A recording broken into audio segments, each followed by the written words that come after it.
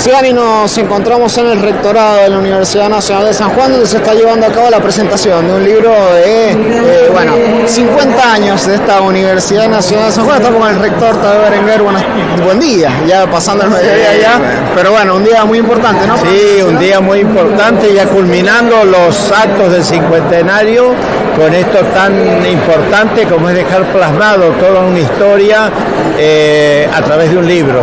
Es fundamental eh, por los que han participado en ella, los actores han sido desde sus inicios, todas las autoridades, mandato cumplido, quienes nos acompañan, representantes estudiantiles, gremiales, eh, personal no docente, eh, todos han aportado todas sus vivencias que muestran la diversidad de esta universidad y que queda esto plasmado, como digo, en este libro para la posteridad, para que la historia eh, se siga conociendo y se siga, eh, las futuras generaciones sepan lo que ocurrió desde sus inicios y el aporte que todos, porque todos han hecho tremendos aportes para llegar a la distancia que estamos ahora.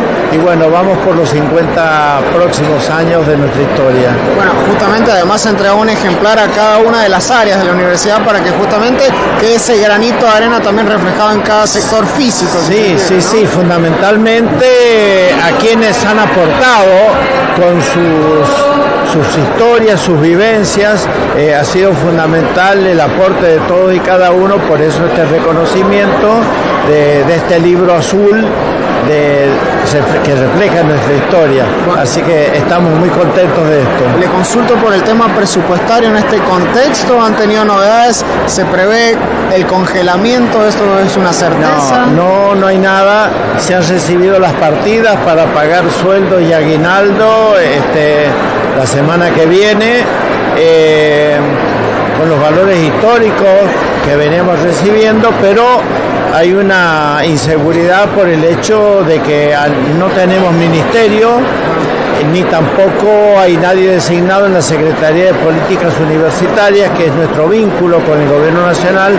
Así que bueno, estamos un poco preocupados porque pareciera que no es prioridad la educación para este nuevo gobierno, pero sabemos que la fuerza que está plasmada en este libro va a servir para afrontar los desafíos que, que vienen para el futuro. Esto que me dice, ¿hasta cuándo están asegurados los sueldos garantizados? Y este sueldo, el sueldo de eh, diciembre y de mm, y el aguinaldo, el medio aguinaldo. A partir de enero incertidumbre. Incertidumbre, así es. Y, en cuanto justamente a los fondos. Incertidumbre porque mm, al no haber presupuesto nacional eh, se reprograma el presupuesto 2023. Por lo tanto, con los valores, como siempre digo, eh, calculados a mediados del 2022, aprobados en fines del 23 y ejecutados durante el transcurso del 23 con las únicas actualizaciones que han sido los aumentos salariales establecidos por las pautas paritarias.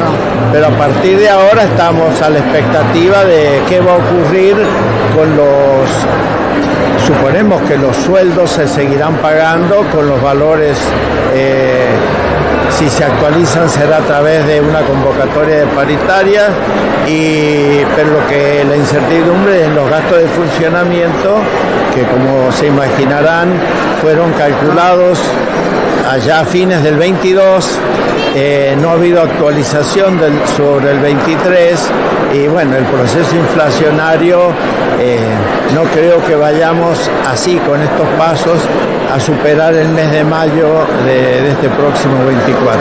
Pero somos expectantes a que las políticas públicas eh, fundamentales, que es la educación, la salud, las van a seguir sustentando los gobiernos. Gracias a vos.